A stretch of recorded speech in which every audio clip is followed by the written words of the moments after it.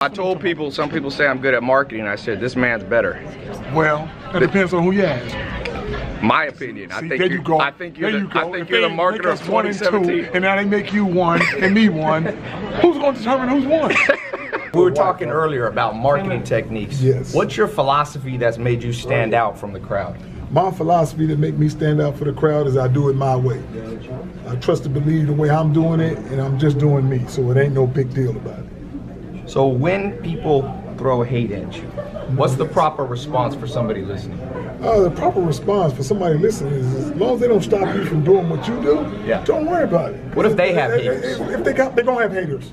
Anytime you're in the limelight, you're gonna have 50% of people like you and 50% that don't. You're not gonna please everybody, Yeah. and you're not gonna have everybody hate you because some people are gonna be like, you know what, I like what he's doing. I like what they're doing, but you're not gonna please everybody. But if you get stuck on having haters be like, oh man, I don't like that guy. As long as you ain't doing nothing bad and have no bad vices, you fine. As long as you ain't hurt nobody and doing nothing stupid, keep going forward. Yeah.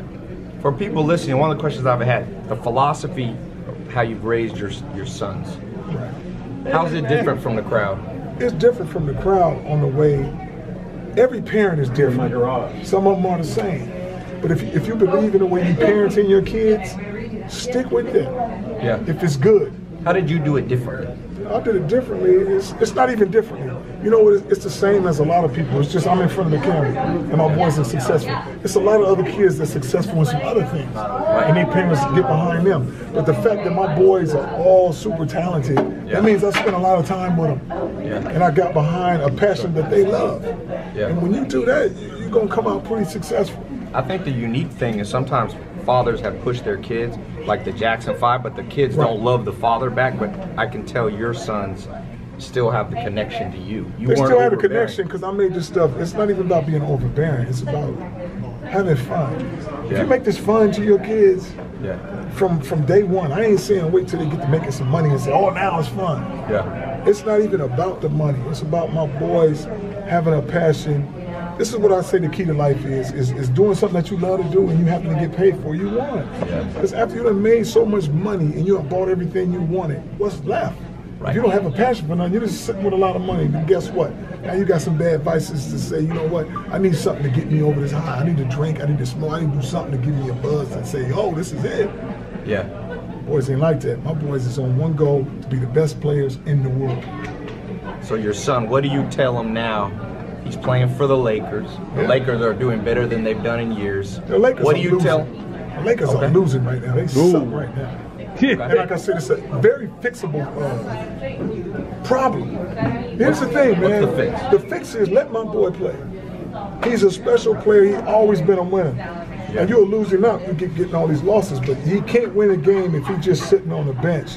And then they bring him in with five and six minutes left in the fourth quarter, talking about let save us. If you look at how many games they done played already this year, look how many games Lonzo has started the fourth quarter and ended the fourth quarter. Now, we've seen this story before last year. They didn't get enough wins. There's a reason. We're doing the same damn thing over and over. Let's get a guy who everybody, all these tickets and all these people here, they see here to see one guy. And I'll say who they're here to see. Because they was here last year and they wasn't coming like this. You bring my son to the table and guess what? I ain't about that losing. And I ain't scared to tell people if you dribbling too much, pass the ball. If there's people in front of you, pass the ball. It's very easy to sub, not sub blindly. This is when you sub. You're tired, sub. You're not doing your job, sub. That's how easy it is. It's not going in there with a preconceived notion like, I'm gonna let this guy play 10 minutes, five minutes, I'm gonna bring him in at the three minute mark. I mean, you, you don't even tell the flow of the game. Every game is different. So if you want to get a guy in there for four or five minutes, guess what? Maybe he don't play this game. I get up by 20 and you play 10 minutes the next game. So don't get stuck on. Here's what everybody's saying: the, the, the, the kids are young. Okay, I want the young kids. You give me a bunch of young pros.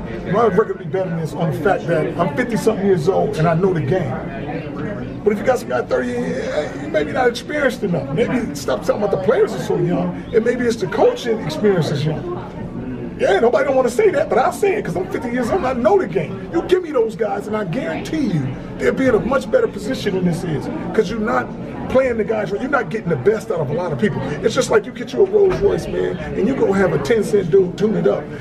It's gonna look like a beautiful car. The Lakers are a beautiful franchise. it just, if you don't have the right spark plugs in that thing, this is a waste. You just got a bunch of young kids running loose. You don't know how to get the best out of none of them. Yeah. Because this system right here is not getting the best out of Zoe. He can make every pass on the court. He can make everybody effective. But when he takes off and you want to play fast, if I look back and I play, let's say I got my boy playing a game. If I got four people behind him, four people behind him, all four of y'all coming out because you ain't running fast enough. Mm-hmm. Why are you jogging behind him? Talking about we getting ready to set up a play. Sprint to the end so we can throw the ball ahead. If we want to play fast. We want to play slow, walk up, man. They got 12 different people taking the ball out. I only need one guy taking the ball out. And you know which one that is? Whoever the slowest one on the team take the goddamn ball out. But you're not going fast. It's very simple. And now I don't have these four guys, every time they score a bucket, I don't have who gonna take it out this time? Who gonna take it out next time? I can fix all this stuff, man. Just play around my boy. He's been successful all his life. Now to get here, and the thing they want to say is, oh, he's a rookie. Oh, we we different up here. This is the NBA. It's freaking basketball. Yeah. It's not that hard. Yeah. Sometimes less coaching is the best coaching. You think they're overthinking it? They o- Just let them play. They're overthinking. it. It's not even about just letting them play. Sometimes you got to tell guys that you don't want to tell. Hey, stop all that goddamn dribbling and trying to do your move. I know that you made four buckets in a row, but it's going to play on in the game. When you're trying to go one on one, you're going to lose. And if you got three guys on the court that are scorers, Right. they're going to go one on one and you're going to lose because there's no more team flow. And I'll tell you what, you got two guys playing against each other. You got Brandon playing against uh, what's that other boy named number zero? Uh, Kuzma. Yeah. Kuzma. Kuzma. Because they both trying to get their points up. Yeah.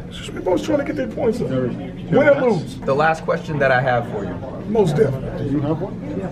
If you had to leave a one paragraph for the world of advice that you've learned in life, what's that one paragraph say? The one paragraph I would say is whatever you do, you got to suffer the consequences, whether it be good or bad. But do you.